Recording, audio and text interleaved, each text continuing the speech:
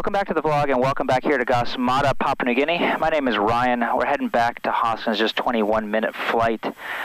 Go get started because it's a really nice day out and I've got a long ways yet to go. All right, low start. TOS system test. Okay.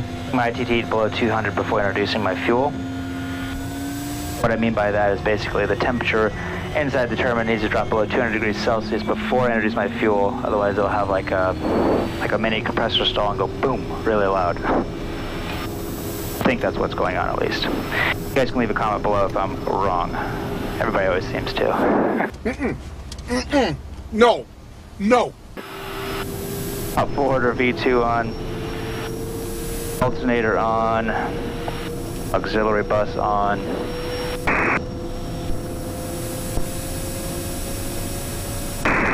Moresby 8861, November Tango, Zulu taxi.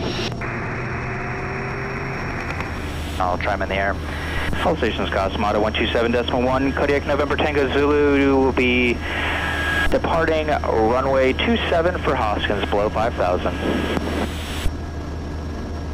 Caps and selectors are good. TAWS will turn Betty off for takeoff. And instruments, like I said, we'll just go up to 5,000 feet. Our weight is 5,500, so we'll rotate at 55 and 64 if we have to come back in for any reason.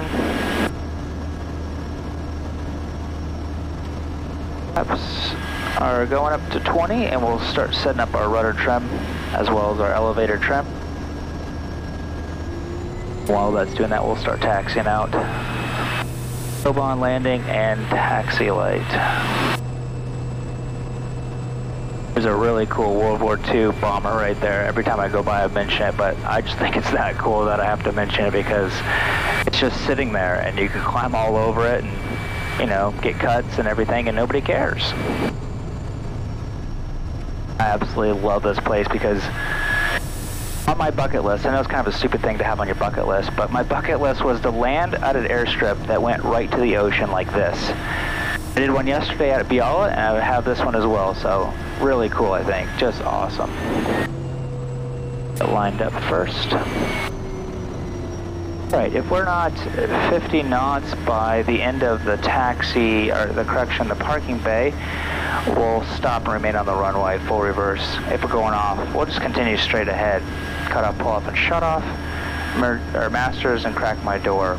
After takeoff, pitch for 85, right hand turn immediately to lower terrain, well, the beach. Off, I mean, consider EPL, consider feather. If those don't work, then cut off, pull off, and shut off. Emergencies, masters, and crack my door. Ignition, inlet, and lights. Star, I guess we'll have to do in the air because we just can't get a hold of anybody this morning. Ignition condition, flaps 20, fuel and harnesses. 26 degrees out. So 1680, 1630 for 1680. We'll make sure we don't go into the yellow on torque because we are sea level.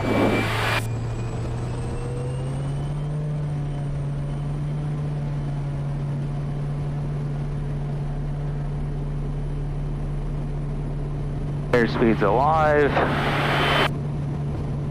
There's 50 continuing and there's rotate already before the parking bay. I want to show you guys, there was a boat right out here just the other day. Let's see if he's still out here in this bay. I don't see him, so he must have moved. There was a boat out here looking for an old World War II plane just the other day, but it looks like they might have already left, or maybe just moved.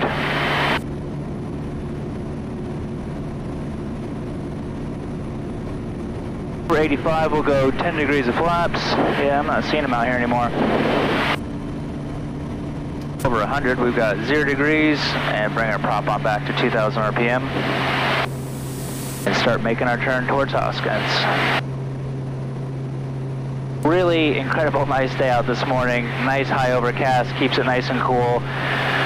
According to Windy, the forecast was pretty crap here this morning. It was saying that it was rainy and everything, but ended up just being high, high overcast, and that's what made it look like it was raining.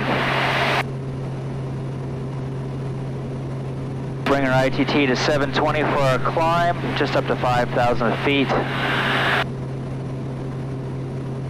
Now that we're up and out, we'll see if we can't get a hold of Port Moresby. Moresby 8861, November Tango, Zulu, departure. Okay, what do I want to try? Let's try 5565. Got a whole list of HF radio frequencies we can try today. Moresby 5565, November Tango, Zulu, departure. November Tango Zulu, Moresby, go ahead. November Tango Zulu departed Gasmata, 2 POB, time 2-4, tracking 359er, on climb below 5,000, estimating Hoskins 4-5. November Tango Zulu. Below 5,000, November Tango Zulu. November Tango Zulu, Uh, what an incredible day. I've been here now for two days, Monday and Tuesday. It's Wednesday now. And it's just been really, really poor weather lately. It rained all last night, but thankfully it rained all last night because that means it's usually a really, really nice morning because it's rained itself out. I'm heading out that way here once I land in about another half hour or so. Looks really, really nice out towards Goroka, so that'll be a nice flight to end the day already by noon. You guys have a burning question that I haven't been able to get to in one of the comments down below, check out the link, just the first link the, in the description called Reply Bank. It's a way you guys can send me a video question or just type it up, and guaranteed way that I'll send you back um, an answer, unless it's completely inappropriate. Haven't one of those yet. So if you guys really do have a question you want to know, I haven't been able to answer it, just haven't had time, I will send you a personalized video answer back on that Reply Bank. We're now 5,000, so let's bring our torque on back to 1250. And then just verifying that my fuel flow is at least 320 or below, because that's what I do all my fuel planning on. So some of you guys have wondered how much how much fuel burn does the Kodiak burn? How much does it cost? Um, I don't exactly know what fuel is. Operating cost is probably around 700 bucks an hour and our fuel, what we do, we're flying around is at 320. So most of our most of our flying is, is at 320, unless we're basically flying at like 12,000 feet, 11, 12,000 feet for at least about an hour, and then I do my fuel flow right around like 300 or something. Let me actually see what I actually do. I do it times 0.5. So actually, let me just show you on here. If it's like a 21 minute flight, let me show you how we actually figure out how much fuel we do. If it's a 21 minute flight and it's both ways, so let's times it by two. So basically to Gasmata and back. I'm to times it by the minutes by 5.3, which is basically 320 an hour. It comes up to 222 pounds of fuel. So I also need to add in a circuit when I get here and a circuit back here. So 30 pounds per circuit, so there's another 60 pounds. And then we also want to land back in Hoskins with one hour of fuel, so that's 320 pounds. So my minimum fuel for this flight is 600 pounds. Now, if it's a crappy day out and it's IFR, I have to land with my IFR minimums, or have my IFR minimums, which is another half hour. So add another 160 pounds to that. So if it was an IFR day, it would be 760 pounds is my minimum amount of fuel. So that's how we figure that out. Going back to Goroka though, it's a bit different because I'll be flying back at um, 12,000 feet. It is 124 minute flight. So I'm going to times that by 5 instead of 5.3. And then I don't really have a lot of weight, so I'll just automatically add on my um, IFR fuel and then plus one circuit in Goroka, but even usually we don't because we usually just do straight into a base, into a final. So basically 1,100 to 1,130 pounds is my minimum fuel to get back to Goroka with IFR reserves. Vertical track. Vertical track. All right, that's my cue to go on down. I've just got it set up for 500 feet per minute just because I have a passenger on board. And I try to keep everything at like as smooth as possible. My goal with passengers is for them to not remember the flight. I'm hoping that when I leave someday, all the people I've flown for are like, yeah, I really don't remember any flights with Ryan. That's my goal, is to not have any, oh, I thought I was going to die one day kind of typically we're going to probably land on runway 12 in Hoskins, which is over the water.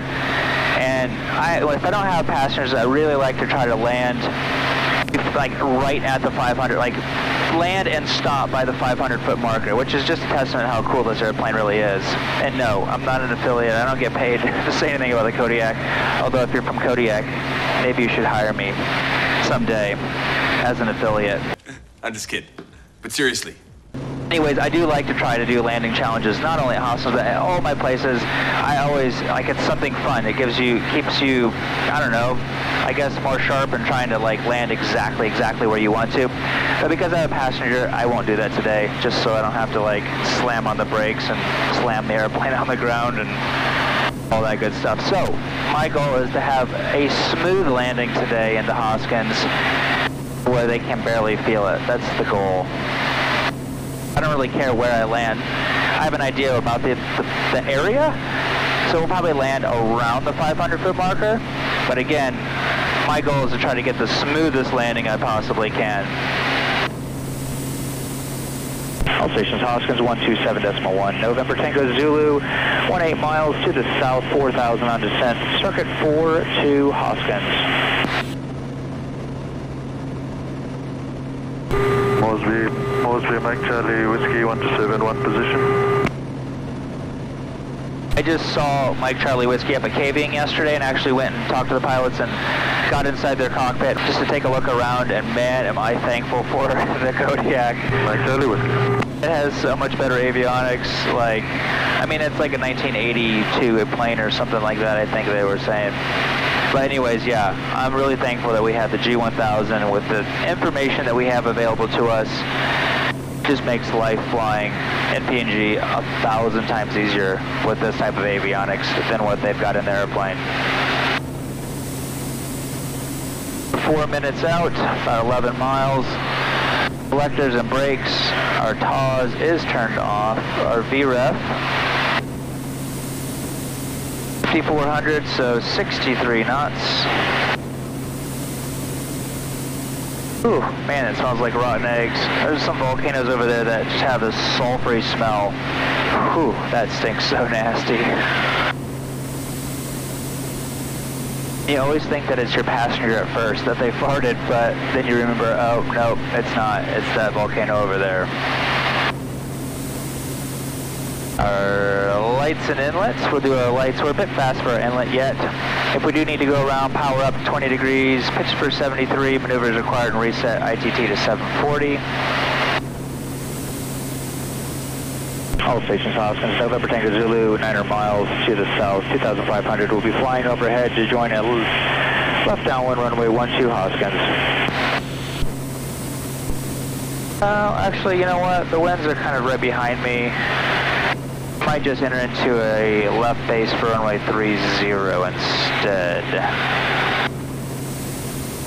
I'll get me on the ground a bit quicker. All stations Hoskins, November Tango Zulu. Correction, we'll be joining into a left base runway 30 Hoskins.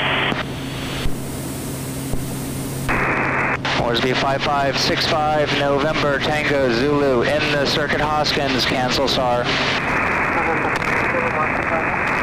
November Tango Zulu in this circuit Hoskins, cancel SAR.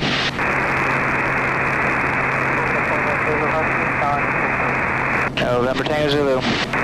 Wow, that's hard to hear. And yes, it's hard for me to hear too. Our prop forward, our SAR is done, our light and inlet are now done. Top and harness is good.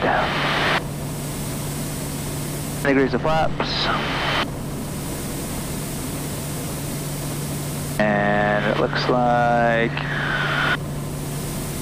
there are no airplanes on the ramp. All stations Hoskins, November Tango Zulu, joining left base 30 Hoskins.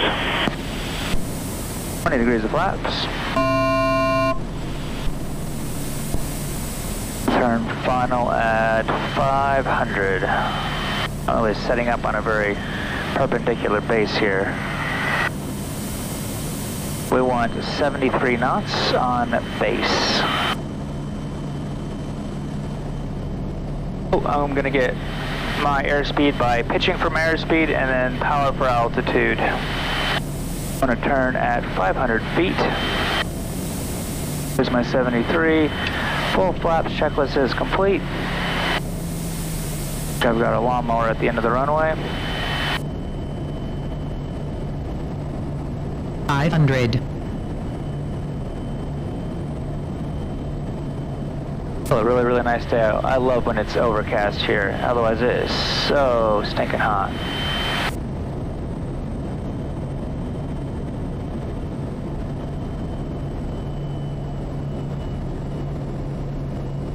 Got a couple of birds at the end of the runway. Looks like they're moving out now, though.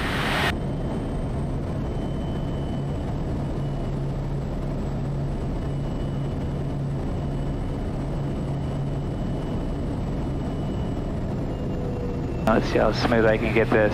Just slowly, slowly get it onto the Mount Berry.